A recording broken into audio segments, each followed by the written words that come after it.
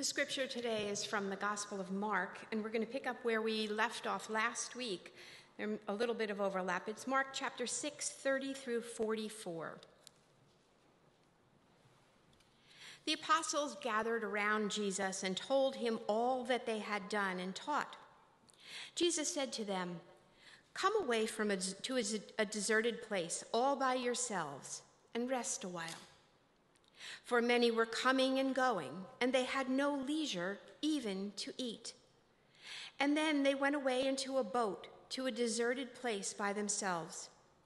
Now, many who saw them going and recognized them, and they hurried on, their, on foot from all the towns and arrived ahead of them.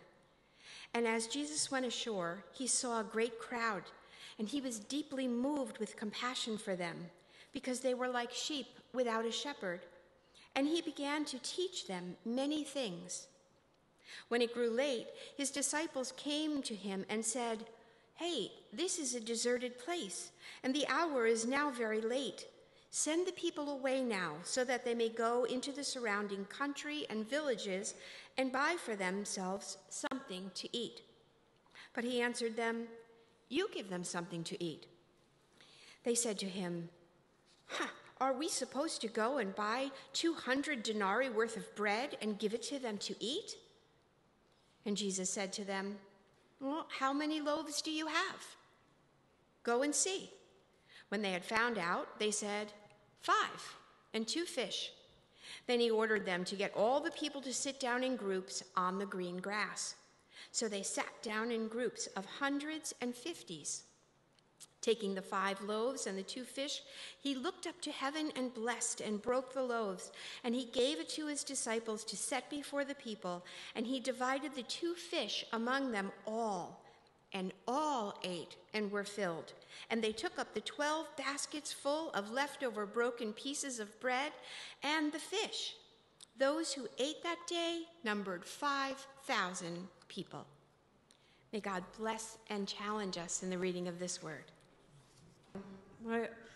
Beautiful, really beautiful. And what a great idea. Let's talk about love. What do you think? Do you talk about love today? Yeah, you know, it's interesting because uh, we just read this great scripture, and it's a familiar passage, I'm sure, to most of you the feeding of the 5,000. And it's really all about love, not just love that's out there or falling in love. It's a love that's internalized, a love that's so deep in you that it just grows and just bubbles out and bubbles over you. Have you experienced that kind of love? It's a way of showing love. The disciples, listen, they just went on this journey. It was the first time that they had been out, two by two. The two of them going out on a ministry journey together. And like I said last week, we don't know if they were beat up on that journey. We don't know if they were beaten down on that journey. We don't know if they were successful and puffed up and ready for the next thing, or we didn't know if they were ready to quit. We do know that they came back. They stayed with Jesus. They, Jesus said to them, Let's just go to the boat. And I told you last week that the boat in Mark always kind of represents the church, it's their place. In fact, here's a little fun fact that you may not know. Did you know that uh, churches, have you seen church that look like the hull of a ship? That's why. That's where that came from.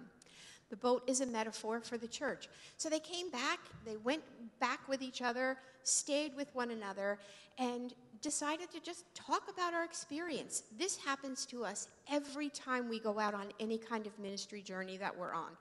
There has to be a coming back and just pouring out what happened to you. What did it feel like? Where was God moving? What was God doing? What did you do in response? How did you handle it? There are a hundred different questions that are come up when we do something for God, but we have to be the ones to ask them of each other. Yes? Amen. So, what happens? They come back, they go to the boat, they go to this deserted place, or what they think is a deserted place, but people recognize them. Now, people are starting to follow them, and Jesus sees them. He says they're like sheep without a shepherd. He feels to, he's moved within him deeply to do something for them. So he does what Jesus does. He sits down, he teaches them, he preaches to them, he talks to them, he ministers to them. But it starts getting late, and the disciples, still anxious to get back to that boat, say to Jesus, Come on already. Let's go. Like, send them home now. There's nothing to eat here. They're getting hungry. We're going to be stuck with all these people. Jesus says, You feed them. Why would he just do that to them? I wonder that all the time. It's really hard. You know, you come back, even as a pastor, you come back and you say, uh, There's many needs that come to me every week. Oh, well, we have to do this, and we should get this finished at the church, and this ministry really needs attention. And so many times I want to say, You do it. Why? Because we're all ministers. All of us have the capacity to do it, to feed, to minister, to teach, to show the love that we've been working on boiling and bubbling over, and we can express that with one another. So Jesus isn't being harsh. He's saying, Look, you just went on this ministry journey. Come back. Let's put your love in action and see if this works. They freak out, as we would freak out. What do we do? Where do we get food? We don't have enough money. There's never enough money in the church. Amen? Never enough money. God says, don't look at the money. Jesus says, how much do you have? I don't know if you realize how powerful that is. What do you have? How many loaves do we have? Jesus is speaking of loaves of bread. But when we say, How many loaves do we have? What are we talking about? Our own resources. How many gifts do we have within this congregation to do ministry? How many people have been brought here by God with specific gifts for ministry? This is something that we marvel at all the time, especially in leadership team meetings or one on one with, with uh, ministerial staff. How, how miraculous is it that God brought all of these people here with such specific gifts? And if you're sitting there right now thinking, he brought a lot of other people, but not me, I don't have specific gifts, you're mistaken. You have also been given specific gifts. Jesus is just empowering them to use them. You do it. Go find out how many loaves we have. What are the ministry opportunities that are going to be presented because of the gifts that are in this place? So the disciples come back with a report five. We've got five loaves. Oh, and we have two fish. Now, if Jesus were a regular pastor, and probably all the disciples are sitting around going, This, it's not enough because that's what we always do. We look at the resources that we have and instantly we say, that's not enough. And I don't care if it's whether the bank book at home or the food on the kitchen table or the resources in First Baptist Church. We always look at what we have and we worry and we say, we don't have enough. Amen?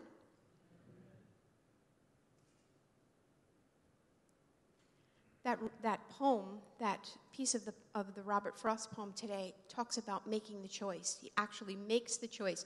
After he stands looking at both roads and looks all the way down as far as he can, and then he can't see around the bend of what's going to come, he finally decides to make a choice. He picks one. Is it better than the other? No, but he picked one.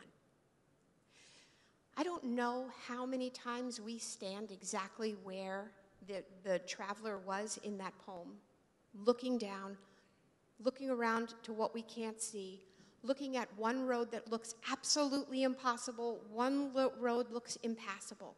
None of them are easy. And all we say to ourselves is, I can't do it. It's impossible. The disciples say, Five loaves, two fish, impossible. We look at how much money is in our account or did. Impossible. We look at how many people come to church. How can we do? Impossible. God is a God of the impossible. God is a God that always takes us down a road that we don't know what's going to happen and, for all intent and purposes, looks impossible or impassable. And then God says, You do it. The choice for us is whether or not we actually take a step. It doesn't matter which road you pick. And that's one of the reasons that I use this Robert Frost poem because it's so misinterpreted as if one is better than the other. But in, even in, this, in the little phrase that we saw, it said, I picked one, I left the other just as fair. Just as fair. It doesn't matter what road you pick when God is calling you because God will lead. And guess what? if it doesn't work out, and if you get to a place where there's brambles and there's really too many weeds, if God doesn't put an axe in your hand or somebody with an axe in your hand to get through that, then guess what? He's going to make a different way for you to get through. And if you can't get through, you can come back and go on the other road. It doesn't matter because God is always with us. Amen? I was telling Howard earlier that we used to, I used to work with a co-pastor. There were, there were three of us, and one of the pastors wouldn't, just wouldn't move until he heard exactly clearly from God. And he used to say that over and over. Don't know if we should do this or not. We have to hear clearly from God. Clearly. It has to be crystal clear, and I have to see God, and I have to hear God leading us.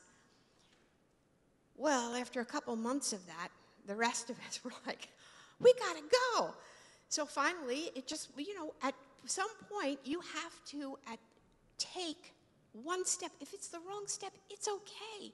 There are no wrong steps with God because God is in our steps. God has ordered our steps. Yes?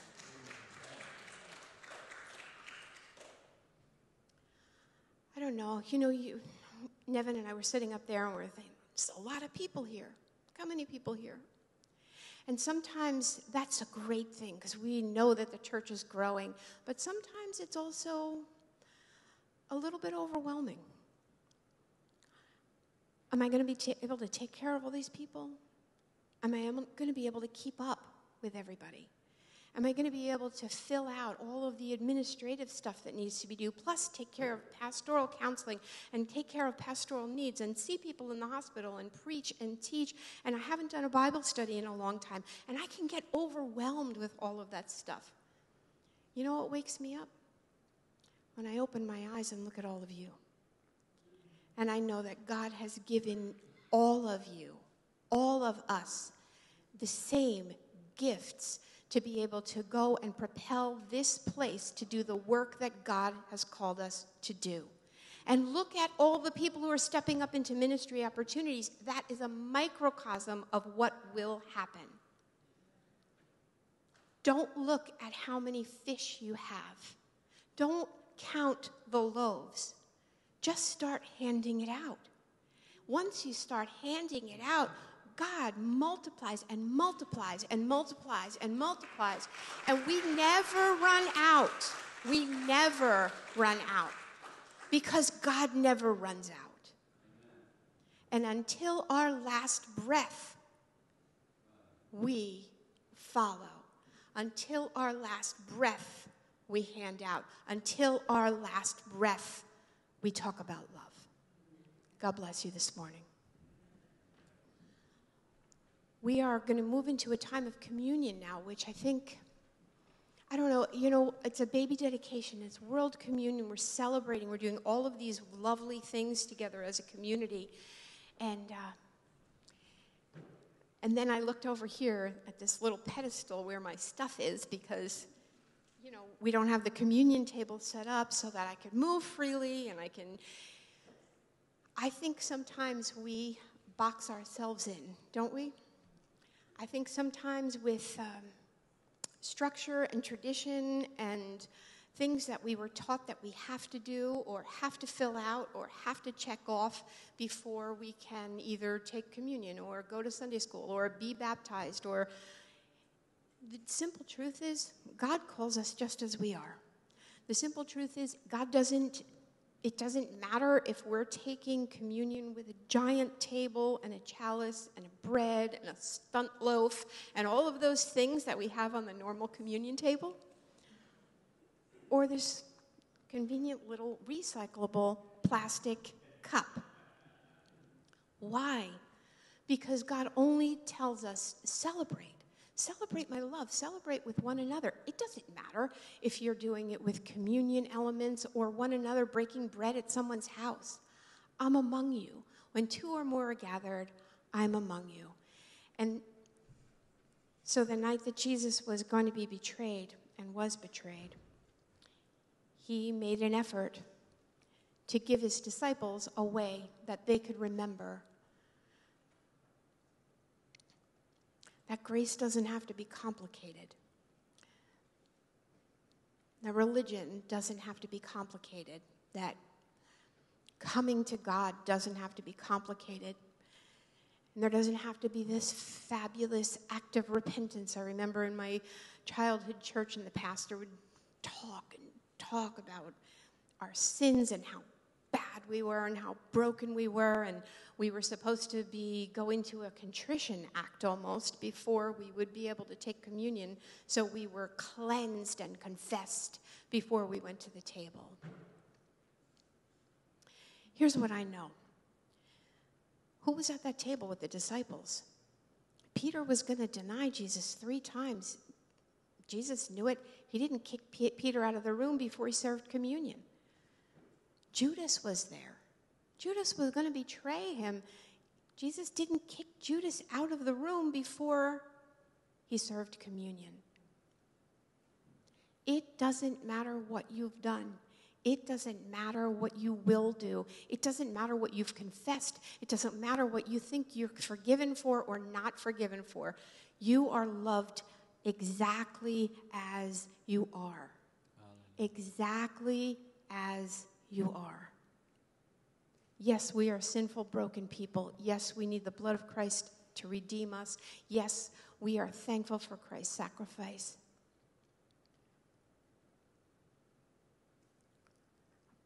Can we fully grasp it? I'm not sure. Jesus knew that. So we got this instead a simple way to remember. This is my body broken for you. Take and eat.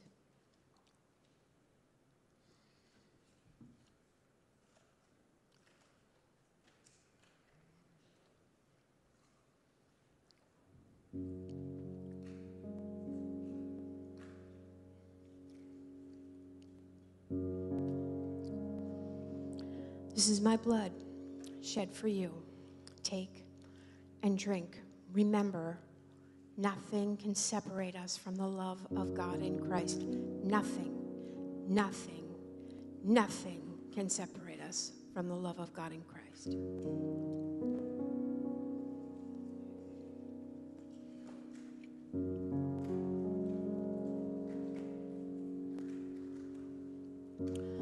Will you pray with me?